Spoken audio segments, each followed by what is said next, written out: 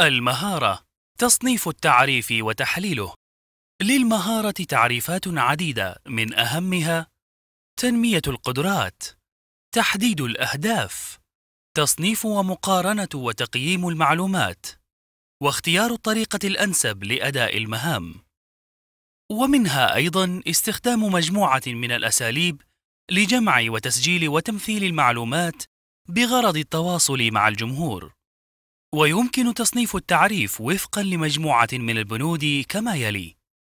التفكير النقدي وحل المشكلات وفيه يتم استخدام أنواع مختلفة من المنطق مناسبة للوضع.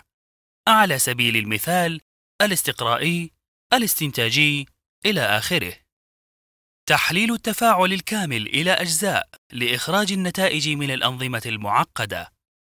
الأحكام والقرارات وفيه يتم تحليل للأدلة وتقييمها بفاعلية تحليل وتقييم نقاط بديلة وتجهيزها للعرض بالإضافة إلى حل المشكلات الإبداع والابتكار عمل خلاق مع الآخرين تنفيذ الابتكارات التواصل والتعاون.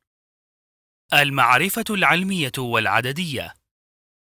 التفكير متعدد التخصصات. تعريف كوتريل للمهارة.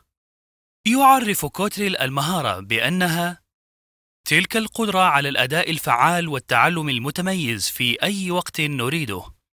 وهي نشاط مكتسب يتم تطويره من خلال ممارسة الأنشطة التي تدعمه التغذية التراجعية. فيدباك كما أن كل مهارة من المهارات تتكون من مجموعة من المهارات الفرعية الأصغر منها.